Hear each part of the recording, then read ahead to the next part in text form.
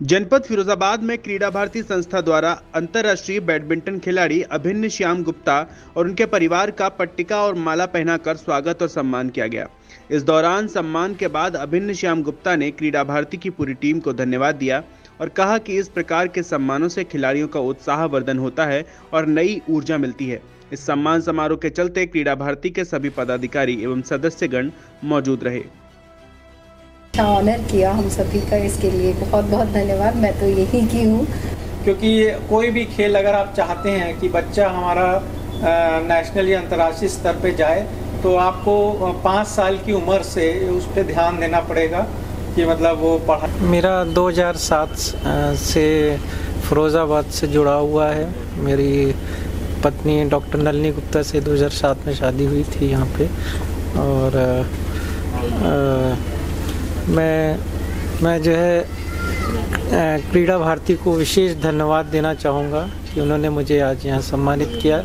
इसके पहले भी दो साल पहले एक केंद्रीय अधिवेशन शायद हुआ था, उसमें मुझे बुलाया गया था।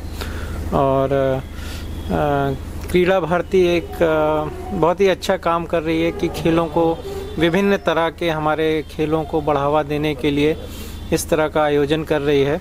और मैं चाहूँगा कि और शहर की प्रतिभाओं के लिए अलग अलग विधाओं में कोचेस को बुला के जब भी बच्चों की स्कूल नहीं रहते हैं तो अब विभिन्न गेमों की ट्रेनिंग दी जाए ताकि जैसे टेबल टेनिस हो गया बास्केटबॉल हो गया बैडमिंटन हो गया या एथलेटिक्स हो गया तो हर साल इस तरह आयोजन किया जाए तो निश्चित ही यहाँ से बच्चे और प्रोत्साहित होंगे और अच्छे अच्छे खेलों में निकलेंगे।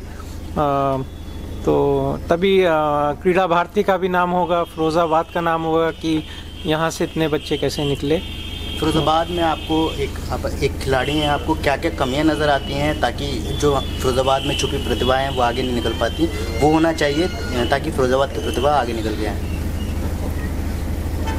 थोड़ा हर गेम का इंफ्रास्ट्रक्चर होना चाहिए जैसे एक जगह जैसे बड़ा हॉल बना दिया वहाँ पे जिमनास्टिक या चार कोट का हॉल या स्क्वैश का बना दिया तो जब इस तरह का होगा, तब और बच्चे निकलेंगे इसे। देखिए, क्रीड़ा भारती एक राष्ट्रीय खेल संगठन है, जिसका उद्देश्य है कि खेल की भावना को जन जन तक पहुंचाना। आज बहुत सौभाग्य का विषय है कि क्रीड़ा भारती फिरोजाबाद को एक ऐसे अंतर्राष्ट्रीय खिलाड़ी का सम्मान करने का सौभाग्य प्राप्त हुआ, जिन्होंने बैडमिंटन में स्वयं को, स्वयं के साथ साथ अनेकों खिलाड़ियों को प्रोत्साहित किया।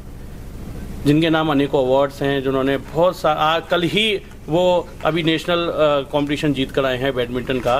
श्री अभिनय श्याम गुप्ता जी, उनके दो बच्चे हैं, श्री सुवेश गुप्ता जी और बिटिया अंशिका गुप्ता। तो दोनों बच्चे दोनों बच्चे भी प्लेयर हैं। एक बिटिया, अपनी बिटिया अपनी टेबल टेनिस में प्लेयर है भैया अपने बैडमिंटन में प्लेयर हैं। तो जब राष्ट्रीय खिलाड़ी हमारे बीच में आते हैं, क्रीडा भारती का कहना है कि राष्ट्रीय खिलाड़ी को जब हम प्रोत्साहन देंगे, वो हमारे संगठन से जुड़ेंगे तो निश्चित तौर से जो संगठन से जुड़े हुए विद्यार्थी हैं, संगठन से जुड़े हुए लोग हैं, वो कहीं ना कहीं वो खेल को सीखेंगे और खेल खेल को लाभ होगा।